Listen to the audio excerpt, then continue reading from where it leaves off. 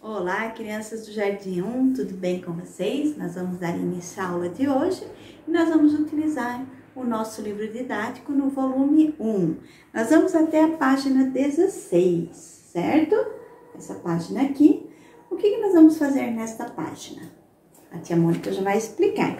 Como nós estamos fazendo uma viagem, né? E nós vamos fazer algumas paradas, nós vamos fazer a nossa primeira parada, certo? Vamos observar aqui essa primeira imagem essa foto aqui fica da cidade de Aquidauana, no Mato Grosso do Sul, certo? O que, que nós precisamos fazer? Nós vamos lá no encarte da página 7 e destacar a palavra Aquidauana, certo? Destacou. Nós voltamos aqui na página e vamos colar o nome da cidade aqui. Depois que nós colamos o nome da cidade aqui, nós vamos pintar todas as vogais A tem aqui no nome, certo? Aí, em seguida, nós vamos registrar aqui embaixo quantas vogais A você pintou. Pode ser com um número ou com um risquinho, certo? Nós vamos para a página 17, aonde nós temos aqui uma moradora da cidade. Nós temos que descobrir o nome dela. Então, ó, meu nome é, só tem a letrinha N. Qual será que é o nome dela? O nome dela é Ana.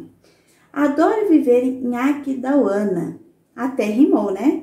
Porque no finalzinho do nome da Aquidauana também forma a palavra Ana, certo? Aí aqui nós temos que responder.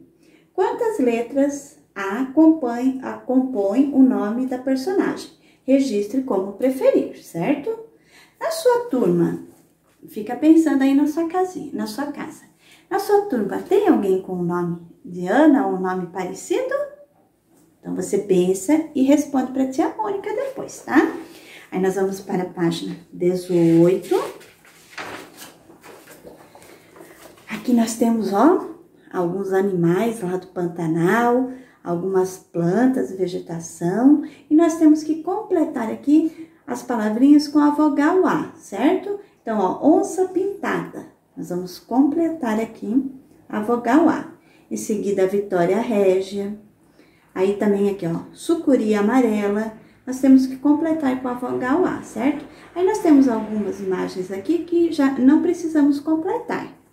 Em seguida, ainda nós vamos para a página 19, onde nós temos aqui o número 2. Vocês lembram que lá na outra página nós já treinamos o número 1 e agora nós vamos treinar o número 2. Nós vamos completar os pontinhos aqui para treinar e em seguida nas demais linhas nós vamos completar sem os pontinhos, certo?